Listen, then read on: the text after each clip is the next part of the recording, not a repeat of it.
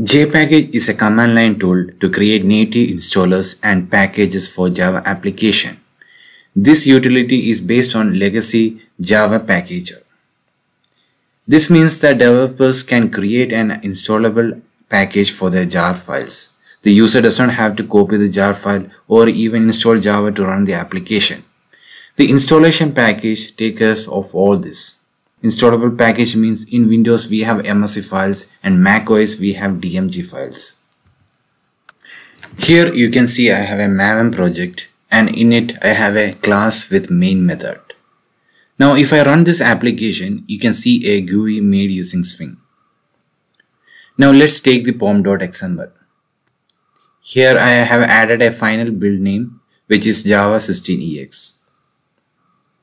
Now let's take the terminal and run a command mvn clean install. You can see the build is successful and you can see the jar file in the target folder. Now let's use the JPackage utility in web mode and we'll give the name let's call it as java 16ex and the input uh, would be target.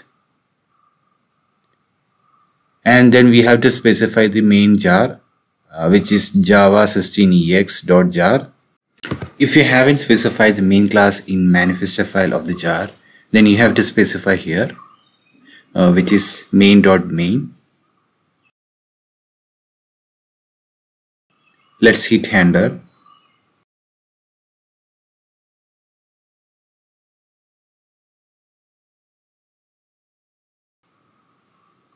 you can see that a package have generated. Uh, since this is a Windows OS we can see a .exe file. Now let's install the application.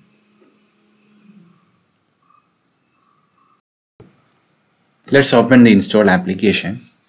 Uh, now you can see the same GUI which we have seen earlier. So that's all guys. Uh, if you like this video please click the like button. And if you want to see more videos like this please click the subscribe button. Enjoy java system